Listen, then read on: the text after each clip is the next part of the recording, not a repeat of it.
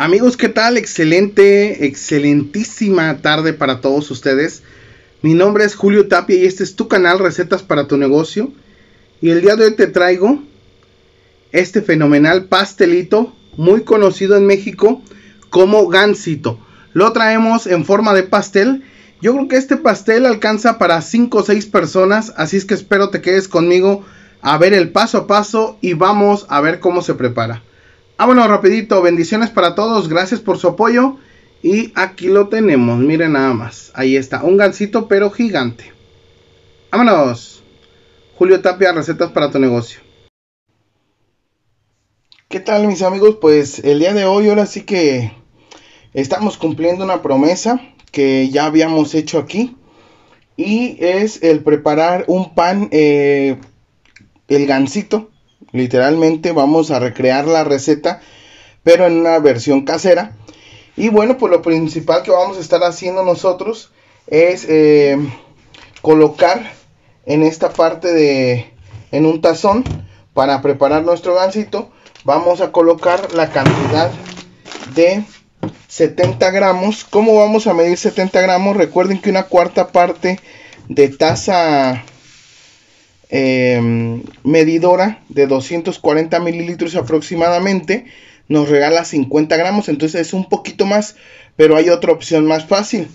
7 cucharadas eh, de, azúcar cada cucharada es 10 gramos entonces ahí estarías obteniendo los 70 gramos. Entonces yo lo voy a colocar acá si te das cuenta más o menos es lo de unas 7 cucharadas.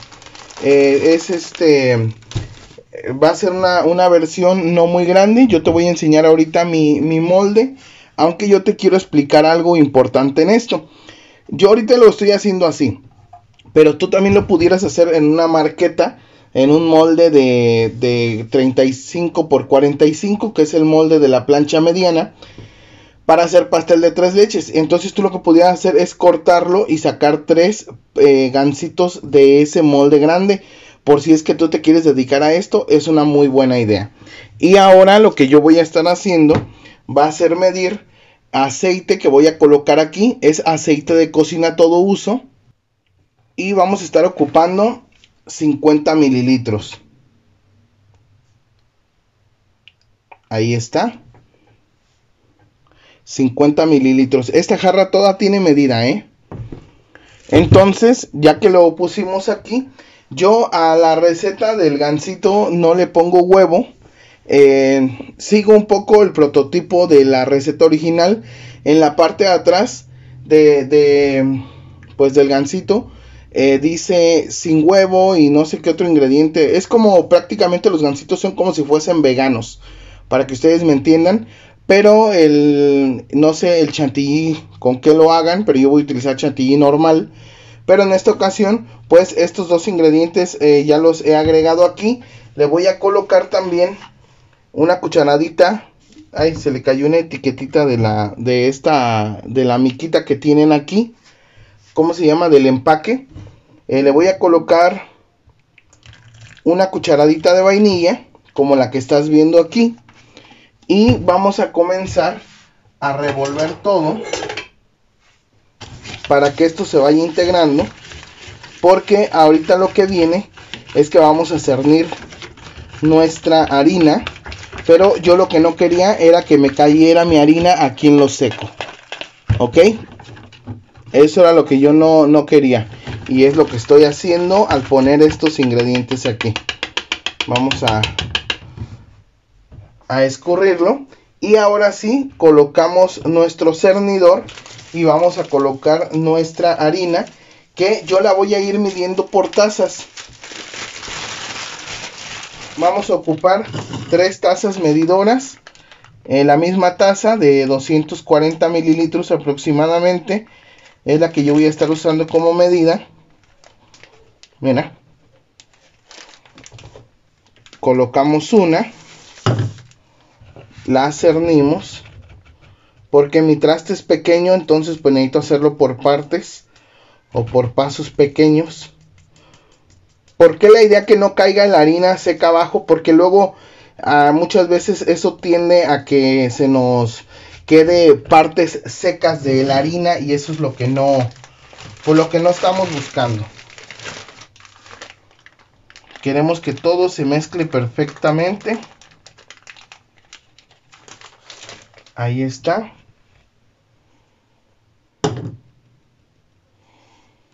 La segunda taza. Y ya te digo, si tú lo quieres hacer en el aspecto de de este ¿cómo te diré? En el molde grande, pues no pasa nada, te, te quedará muy bien. Y vamos por una tercera taza. Si me preguntan cuánto es en gramos, recuerda que cada taza da 120 gramos. Entonces estaríamos hablando de eh, una cantidad de 360 gramos con 3 tazas de harina. Ok, entonces ahorita voy a... Eh, ya vamos a empezar a agregar lo líquido. Pero antes de lo líquido viene el polvo de hornear que voy a ocupar. No me traje hoy una cuchara, pero voy a agarrar como lo de una cucharadita, mira. Es una cucharada normal, no tan rasada. Aquí la voy a colocar. Que pues es como lo de 10 gramos. Vamos a terminar de cernir esto. Vamos a retirar acá.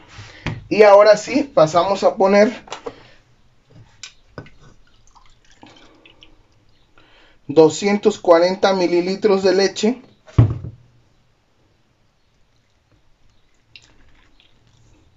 Vamos a batirlo para ver si nos hiciera falta.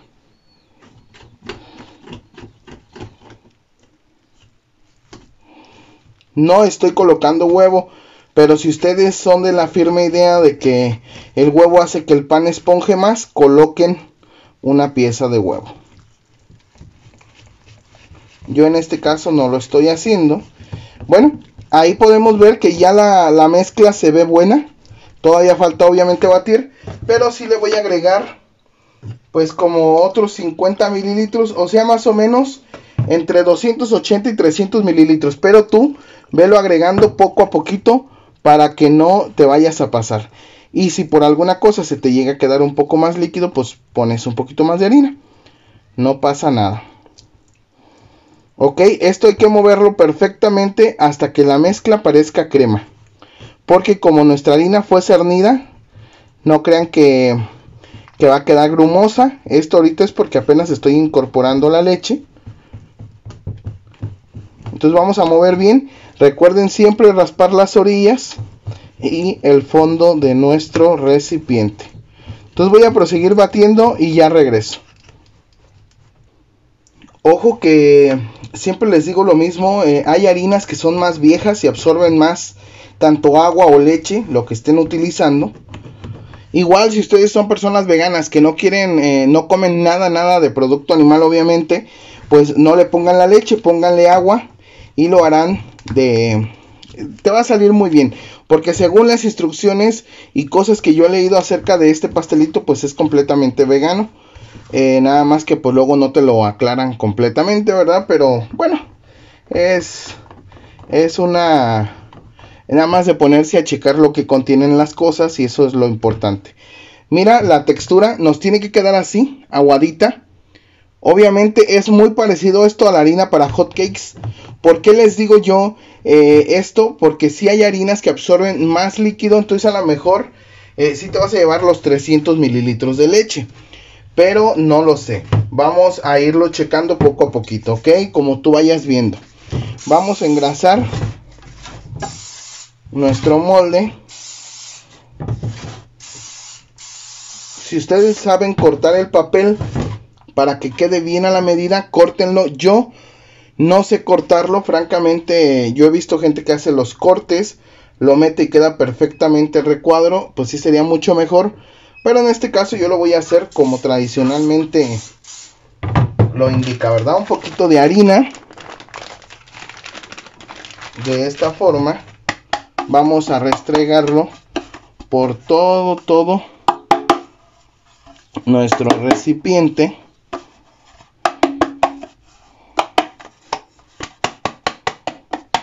En este caso es una versión pequeña. Si tú lo vas a hacer más grande, pues ya sabes, duplicas o triplicas. Tiramos el exceso. Nuestro horno ya está siendo precalentado. Eh, lo voy a hornear yo a 180 grados. También se pudiera a 160 que crezca despacito, tranquilo. Pero me gusta 180. Entonces lo que voy a hacer ahorita aquí va a ser vertir mi mezcla. Mira, el molde, la mezcla te va a llegar más o menos a la mitad. Mi molde es como de, como de 15 centímetros, como por 25, más o menos.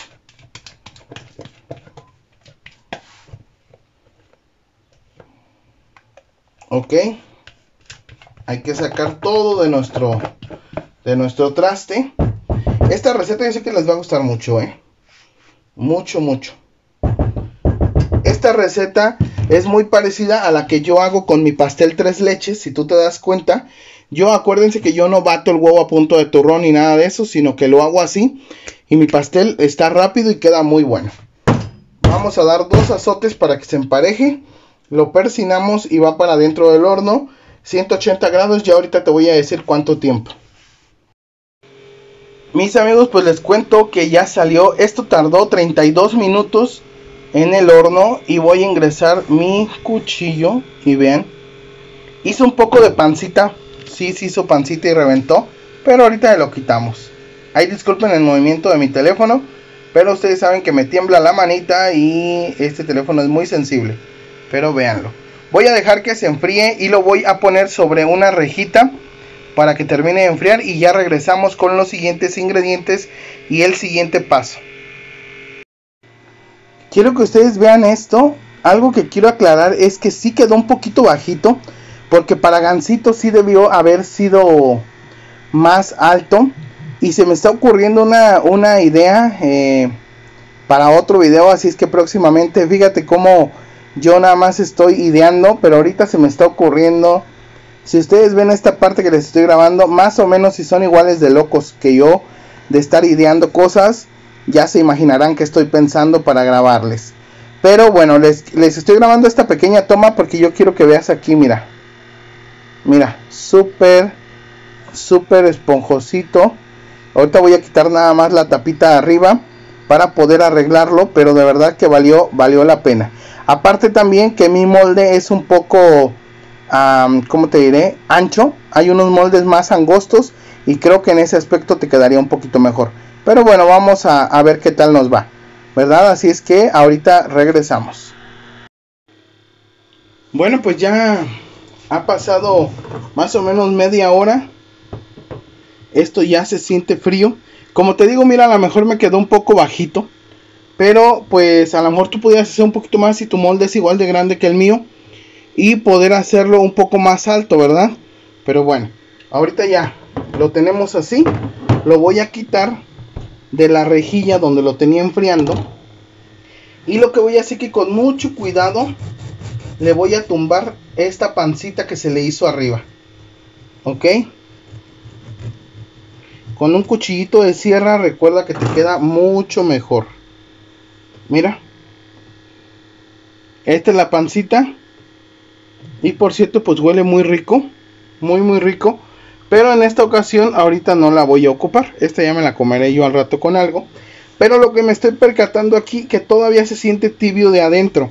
Entonces, ¿sabes qué es lo que voy a hacer? Lo voy a dejar orear otro poco. Igual en la reja. Porque recuerda que la reja permite ventilación por abajo y por arriba.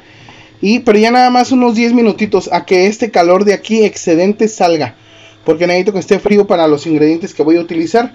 Que ya tengo aquí mi chantilly y mi mi mermelada de fresa y el chocolate se está, está tomando, este, pues lo metí al microondas y necesito que se esté un poquito más firme porque lo metí mucho. Así que el chocolate lo vamos a llevar a que se sienta aguadito, pero no líquido, líquido. ¿Ok? Ya regresamos. Y bueno, mis amigos, pues ya que se enfrió bien, ya lo habíamos cortado como ustedes lo vieron. Yo lo que voy a hacer es un pequeño saque o corte mi papá cuando trabajaba cosas con madera decía que esto se decía saque. Pero bueno, estamos ahorita con lo que es repostería. No sé si venga lo mismo. ¿Verdad? Pero pero aquí lo estoy haciendo. Pero para que me sea más fácil, este, pues ahora sí que cortarlo, voy a estar sacando como rebanadas de este corte que se hizo por dentro. Y como vuelvo y te repito, eh, si tú lo quieres hacer más alto, pues escoge un molde más delgado y a lo mejor duplica la cantidad. ¿Ok? Ahora, ¿qué se hace aquí? Bueno, pues se mete un cuchillo más delgado y se empieza a sacar los trozos de pan, pero tratando de no llegar a la parte de hasta abajo. ¿Ok? Eso es, eso es lo importante. No vamos a cortar la parte de hasta abajo y estos bloques los necesito que, no, que nos queden los bloquecitos porque vamos a ocupar todavía una partecita. Entonces vamos a irlos retirando. Mira, mira qué bonito se retira muy fácil. Este no es, no es tan complicado. Vamos a, a cortar aquí. Y ahorita que ya sacamos el primer corte, que ya tenemos el cajoncito. Ahora lo que yo voy a hacer es empezar a ir retirando más cantidad de pues esto pudiera ser como migajón, ¿verdad? Pudiese ser como migajón, pero no vayamos a llegar a la parte de abajo. Ok, yo lo voy a ir colocando en una, en una esquinita de mi mesa. Este, lo puede rascar con una cuchara. Pero lo, importante es que nos quede el rectángulo, pero que se respete esta parte de abajo. Ok, Ahora regreso, voy a traerme un tenedorcito. Y con el tenedor vamos a empezar a rascar bien bien. Pero vean cómo yo no lo estoy enterrando. Nada más es como si le estuviéramos casi casi pidiendo permiso. ¿Verdad? Para poder hacerle cosquillitas al pan. Entonces en este, en este aspecto así si tú quieres, puedes quitar otra parte de aquí. Que no te quede tan, tan gruesa la, esta parte. Lo podemos retirar. Mira. De esta manera. Para que nos quede más. Yo creo que estoy dejando en la parte de abajo como un centímetro en esta parte de aquí. Entonces ahorita lo que viene vamos a rellenar con mermelada de fresa. Mira, ya va tomando cuerpo de gansito. Mira nada más. Facilito, rápido y sencillo. Ok, ahora imagínate si lo prepararas grandotote, grandotote para, para no sé, 20, 30 personas. Y lleva bastante cantidad de fresa, no es poquita. Y ahora yo aquí tengo chantilly. Esta es crema batida tipo chantilly. Pero es eh, ya lista, ¿eh? No crean que esta yo la preparé. Aunque yo ya tengo un video, yo no preparé esta. Entonces lo que yo voy a hacer en este aspecto es, voy a, a doblar aquí y vamos a mover un poquito, voy a sostener la caja para soltar un poquito mi chantilly porque está apretado ya que estaba en el refri. Pero ya soltándolo, mira, lo vamos a venir a poner aquí de esta manera. Vamos a soltar otro poquito más. A mí, yo a mí no me gustan los pastelitos, los gansitos, amigos, lo tengo que decir. Pero si tú eres amante del gansito o tu niño es amante de un gansito, pues prepáraselo, prepáraselo. Yo a mí sí no me gustan, ¿eh? Este, a mí se me hace un dulce, un postre muy dulce. Pero no sé, a lo mejor este sí me va a gustar porque no está tan dulce como el de la marca original. Vamos a emparejar aquí un poquito, así. Muy, muy poquito lo, lo emparejé. Y ahora voy a poner esta por acá. Ahora, ¿qué es lo que voy a hacer? Vamos a tomar una telita de pan delgada y la vamos a poner aquí, pero la vamos a apretar un poco, muy poco nada más. Nuestras manos bien limpias, ¿ok?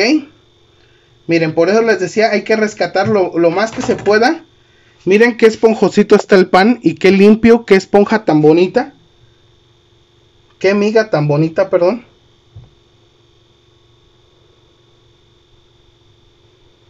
Ahí está. Vamos a rescatar otras dos de aquí, otras dos lonchas. De esta forma. Y de esta forma. En nombre sea de Dios, ahí nos ha quedado ya nuestro, nuestro pan. Vamos a dar la vuelta de esta forma para que haga un poco de presión. ¿Ok? Ya teniendo esta presión aquí, vuelvo y regreso. Ahorita venimos a poner el chocolate. Bueno, pues ya pasó 10 minutos. Yo lo dejé reposar en lo que yo me traía las siguientes cosas que voy a ocupar.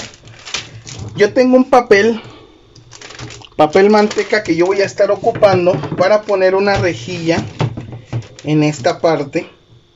Porque aquí me va a escurrir el exceso de chocolate y ese chocolate lo voy a volver a utilizar. Yo tengo por acá mi pieza de pan y lo que voy a hacer va a ser voltearla aquí de esta manera. ¿Ok? Para que quede sentado. Bien, bien sentado. Y lo que buscamos aquí es seguir haciendo presión en la parte de abajo porque tenemos la costrita de pan que hemos puesto. Entonces yo tengo por acá en el horno mi chocolate que yo compro esta marca. Próximamente les voy a grabar el glaseado que utiliza la empresa. Porque no es un chocolate lo que nos ponen. Y lo voy a, a preparárselos en otro gansito. ¿Ok? Voy a agarrar. Voy a poner una cantidad. No, no voy a decir cuánta. Solamente voy a decir una cantidad. Vamos a a retirar de mi espátula el chantilly y vamos a empezar a, jalarlo. Vamos a empezar a jalarlo hacia nuestras orillas.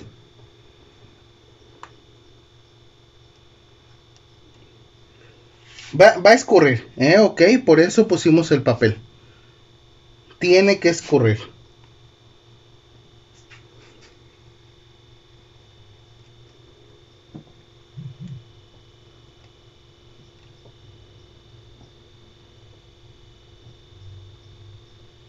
ok está escurriendo y así como lo ves nos vamos a ir con todos con todos los lados perdón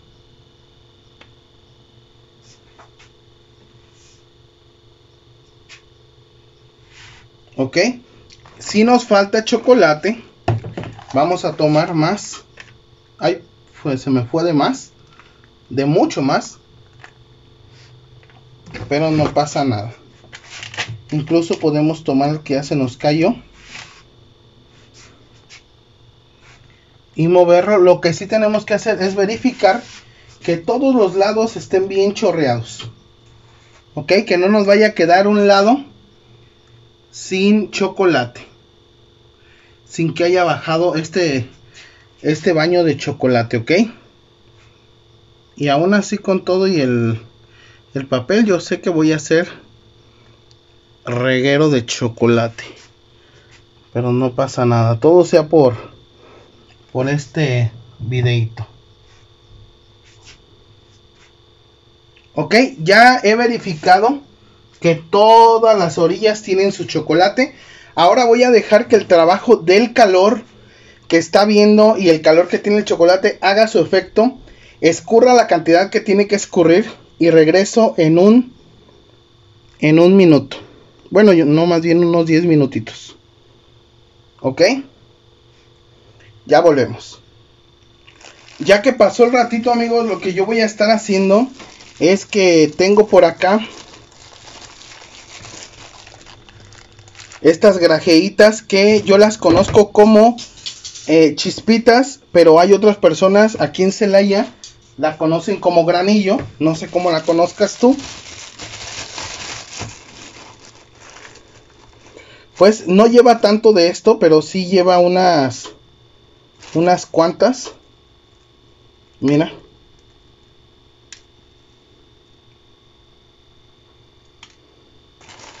De esta forma. Amigos, se van a lucir con este trabajo, de verdad que sí. Y ahora lo que yo voy a hacer es que voy a aventarle unas por los costados. Voy a ver si puedo hacerlo aquí para que ustedes lo puedan ver de esta forma. ¿Verdad? Miren cómo todavía está muy muy líquido el chocolate. Así es que esto es por eso que le dimos también un ratito para que tomara cuerpo. Bueno, ahora sí lo voy a dejar por un lapso de 10 minutos a que siga reposando y volvemos. Ya regresamos. ¿Por qué se decora en la reja? Bueno, porque sé que esta pregunta me la van a hacer. Para que todo esto no esté aquí.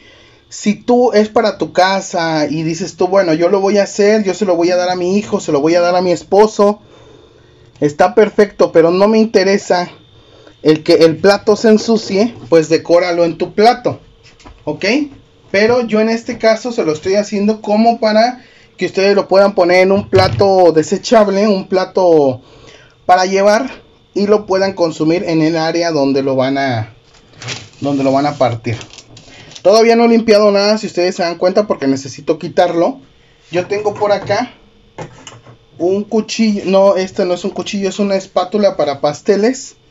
Y lo que voy a hacer es que lo voy a meter por la parte de abajo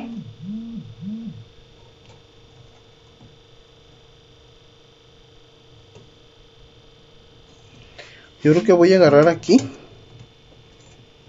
Donde donde pueda levantar un poquito.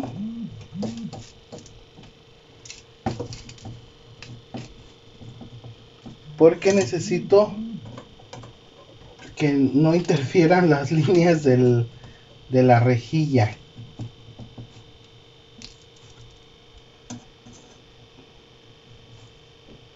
¿Ok? Tenemos que buscar la forma de la rejilla que no interfieran sus sus líneas.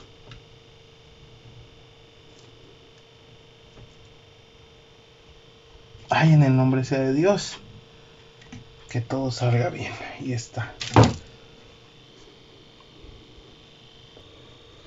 Pues bueno amigos ahí nos ha quedado el el pastel de gansito y quiero aclarar una cosa.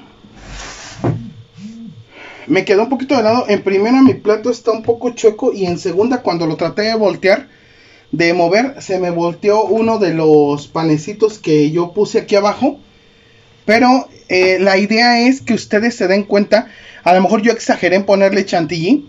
Ustedes lo que tienen que hacer es ponerle un poquito menos de la marca para que cuando ustedes hundan esa telita de pan eh, quede a ras. ¿Verdad? Quede perfecto.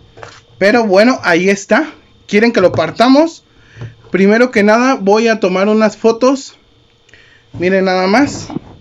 Ese es nuestro gansito enorme. Ahí está. Vean, se ve espectacular. Un gansito enorme. Ok, ahora yo lo que voy a hacer es que voy a partirlo. Vamos a ver. ¿Con qué será bueno? Con el de sierra. Sí, ¿verdad? Ay, me tiembla hasta la mano de los nervios.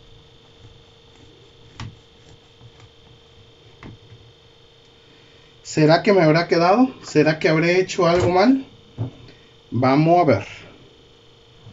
Vamos a voltear un poquito este pan para que se alcance a ver el gansito por dentro.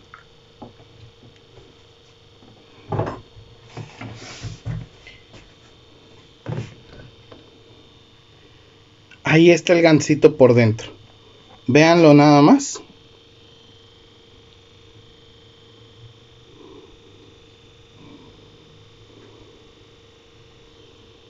¿Se mira o no se mira? Wow, estoy súper contento, súper emocionado. Vean nada más.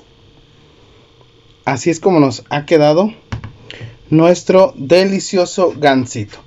Espero me regales un dedito arriba. Espero haya valido el tiempo grabado. Dios me los bendiga. Un abrazo grandísimo. Julio Tapia, recetas para tu negocio.